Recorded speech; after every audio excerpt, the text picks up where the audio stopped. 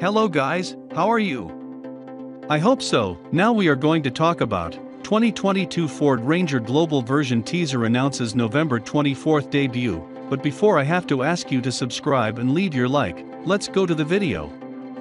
At long last, Ford Australia has announced when it will take the wraps off the next generation Ranger. We're specifically talking about the global version of the mid-size truck as rumor has it the pickup destined for North America will not enter production until May 2023 before going on sale later that year in July. Meanwhile, November 24th will be the day when the wraps will come off, some 10 years after the T6 Gen model's arrival down under. To go along with the announcement, the Blue Oval has released yet another teaser image plus video combo showing the design process along with a shadowy interpretation of the front fascia. We get to see the familiar C-shaped daytime running lights of what will be a truly global truck, set to be sold in more than 180 countries all over the world.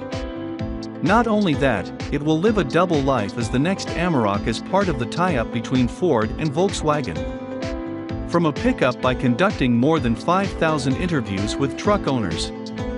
In addition, it organized workshops with Ranger owners in different parts of the globe to find out how they typically use their trucks, as well as likes and dislikes. Ford also took notes of what customers would want to see in the revamped Ranger, and hopefully, their voices have been heard. We're being told the upcoming Toyota Tacoma competitor is the most capable Ranger of them all, designed to go more places, work harder, and offer more comfort and refinement than ever before.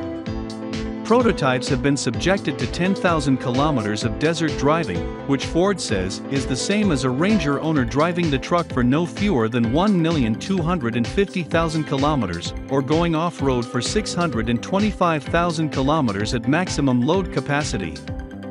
Ford is remaining tight-lipped about the technical specifications, so we'll have to wait until the official debut in a little over three weeks from today. As previously reported, the new Ranger is rumored to come with a plug-in hybrid powertrain for the first time, along with a pair of turbo diesels consisting of a twin-turbo 2.0-liter four-cylinder and a larger 3.0-liter V6. As for the high-performance Raptor derivative, it's supposedly getting a 2.7-liter EcoBoost V6, which would replace the twin-turbo diesel used today globally by the outgoing model. Inside, expect to see a 15.5-inch touchscreen for the portrait-oriented infotainment system likely running on SYNC4. A fully digital 12-inch driver's display is on the agenda, as is a smaller 12-inch center screen for the lower spec trim levels. Wireless integration of Android Auto and Apple CarPlay is on the agenda as well, along with many other features we will discover on November 24th when the big debut will be live streamed by Ford Australia on YouTube. As a final note, the Ranger will once again spawn an SUV version taking the shape of the Everest only sold in some parts of the world.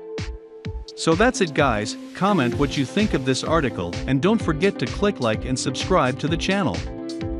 Thank you so much for watching.